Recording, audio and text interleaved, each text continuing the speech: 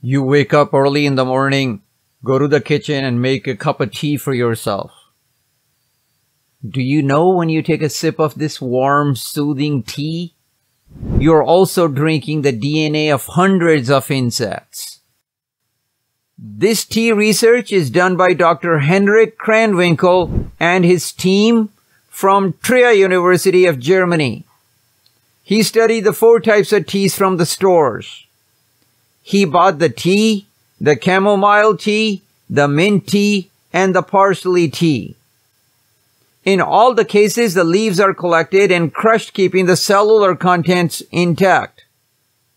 The DNA collected from the teas is called the eDNA or environmental DNA. 99% of the collected eDNA belonged to the tea plants. However, 0.1% of the DNA was the animal DNA, mostly arthropods. Dr. Krehenwinkel is an ecological geneticist who studies the plant and animal interactions by using the DNA isolation techniques. Every time a bee lands on flowers, or a caterpillar chews on leaves, a ladybug eats aphids, or a spider spins a web. These interactions are hard to record and study by using cameras and binoculars.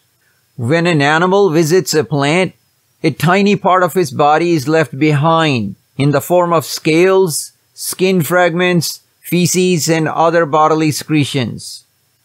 eDNA of these tiny fragments can be analyzed and the species can be identified. Dr. Krehenwinkel has identified 1200 species of arthropods from four types of teas that he has studied. This DNA isolation technique can be used to study insect pests on various crops. It can give us priceless data on how pest populations decline with the different methods of pest control.